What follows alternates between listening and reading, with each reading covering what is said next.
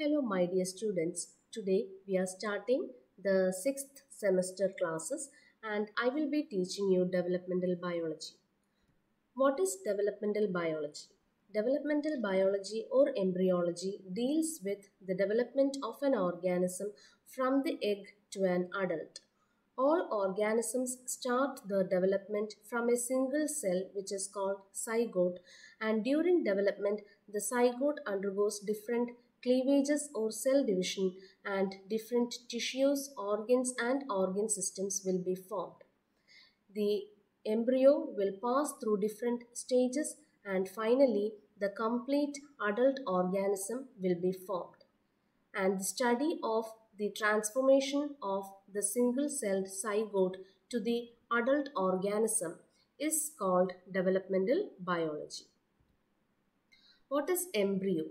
As I told, all organisms start their development from a single cell called zygote and they pass through different stages of development and these different stages of development are passed either inside the egg or inside the maternal body. In the case of reptiles and birds, the development of the embryo takes place inside the egg and in the case of mammals, development takes place inside the womb of the mother that is inside the maternal body. And the juvenile form of an animal which is present inside the egg or inside the maternal body is called embryo. What is development? The gradual transformation of egg to a new adult individual is called development.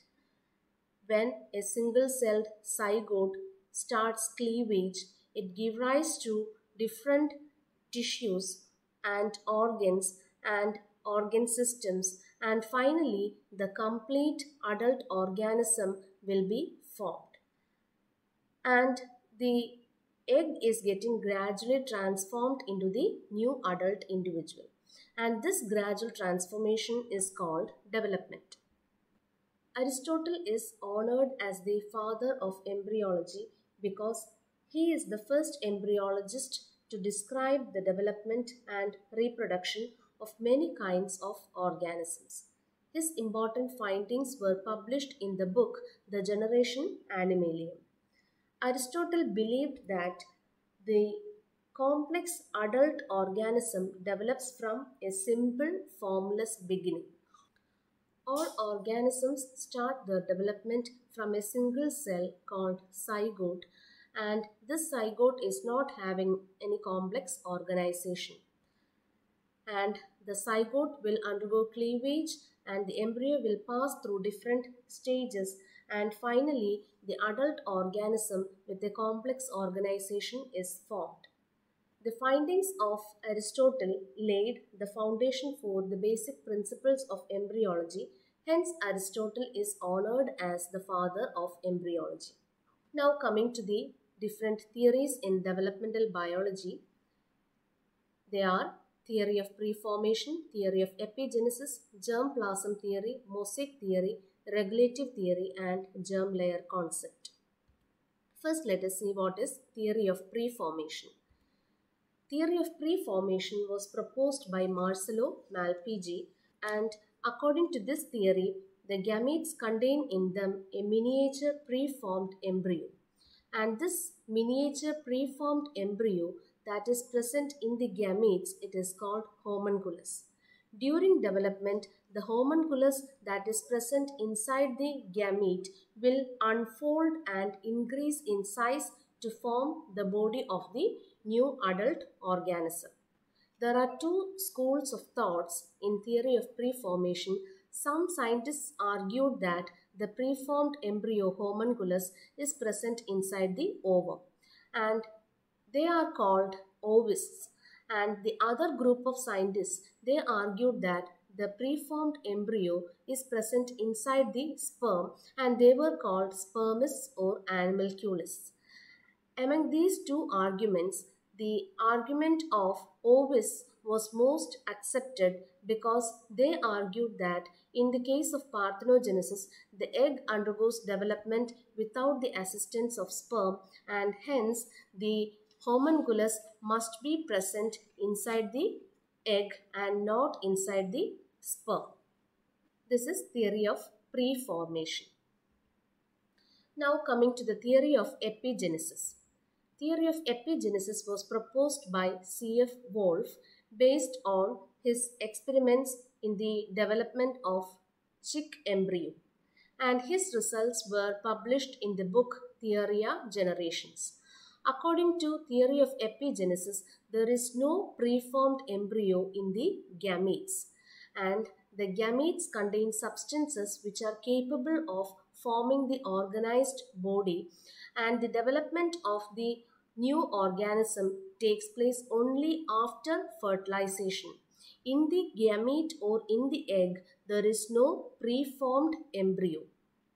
During development, the substances which are present in the egg, they will arrange themselves to form the different body parts of the embryo. That is theory of epigenesis. Now coming to the germplasm theory. Germplasm theory was proposed by August Weismann in the year 1904.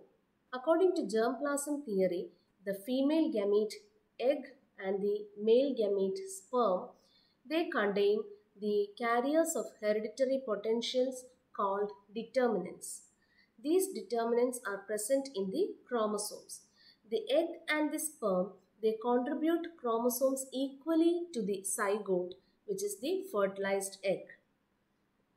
And the zygote will undergo development and form two types of cells, the germ cells and the somatic cells. The zygote, which contains all the determinants, will undergo cleavage and during cleavage, the determinants will get segregated and distributed to different cells. So there will be different types of somatic cells receiving different types of determinants. Each type of cell will be receiving only a particular determinant and the fate of the somatic cell will depend on the type of determinant that it has received. The somatic cells which have received the determinants to develop into the cardiac muscle will give rise to the heart. The somatic cells which have received the determinant to develop into the neuron will give rise to the brain. So like that there are different somatic cells and these somatic cells will receive a particular type of determinant only the germ cells will receive all the determinants because germ cells are the cells which are giving rise to the next generation and that is called germ plasm. So only the germ cells will receive the complete set of determinants. That is germ plasm theory. Now coming to the next theory that is mosaic theory. Mosaic theory was proposed by Wilhelm Roux. He has done an experiment in the fertilized egg of frog. After the first cleavage, when the embryo was in the two-celled stage, he pricked one of the cells with a red-hot needle. And the cell was damaged and the other cell, which was not affected, was allowed to continue its development. But the cell which was pricked with the red hot needle got destroyed and the other cell which was not affected gave rise to a half embryo. So here a defective embryo was formed because the cell which was pricked with the red hot needle got destroyed and the other cell gave rise to a half embryo. So according to mosaic theory, every part of the egg is predetermined to develop into a particular organ. The fate of every part of the egg cytoplasm is predetermined. And if a cell or if a blastomere is separated from the embryo, then a defective embryo will be formed. Since the fate of each blastomere is determined, it is called determinate theory. Now coming to the next theory that is regulative theory. regulative theory was proposed by Hans Driesch in his experiment on the egg of sea urchin. Instead of pricking the egg with a red hot needle, he separated the four blastomeres and allowed the four blastomeres to continue their development. All the four blastomeres they developed into complete normal embryos. So, according to regulative theory, the fate of the different parts of the egg is not predetermined. Every part of the egg has the potential to develop into any organ. During development, if a part of the egg is removed or if a cell is separated from the embryo, then the remaining cells will reorganize development in such a way that a complete normal embryo is formed. Since the fate of the different parts of the egg is not predetermined, it is called indeterminate theory. Now let us have a comparison of mosaic development and regulative development. According to mosaic development, the fate of every blastomere is predetermined and if the blastomeres are separated, they will give rise to defective embryo. Here you can see the defective embryos which are formed from the separated blastomeres. Only the embryo which is having all the blastomeres can give rise to a complete normal larva. In the case of regulative development, the fate of the blastomeres is not predetermined and if the blastomeres are separated, they can give rise to a complete normal embryo because the development can be reorganized. Now coming to the last theory that is germ layer concept. The germ layer concept is based on the contributions of two scientists Pander and von Baer. Pander traced the development of the chick and he found that there are three germ layers which are formed in the chick embryo. They are ectoderm, endoderm and mesoderm. During development, the embryo is passing through different stages like blastula and gastrula and the different organs and organ systems are developing from the three germ layers that is ectoderm, endoderm and mesoderm. This is the fundamental embryologic sequence in all the animals that is germ layer concept. So that is about the theories in developmental biology. Thank you.